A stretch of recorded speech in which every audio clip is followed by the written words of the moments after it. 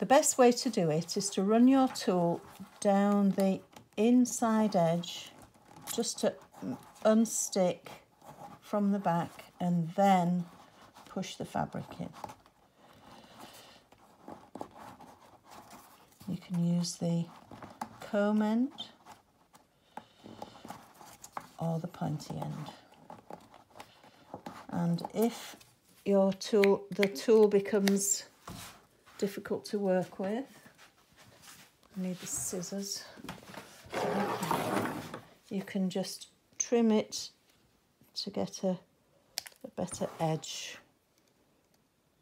It just becomes a bit bent as you go, so just start again, pushing that in. There. Run it down the back like that and then push it in.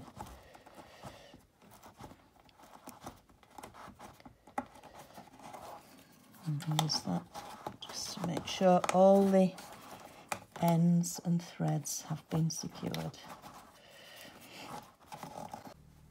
And there we have it, this September's box, the lampshade.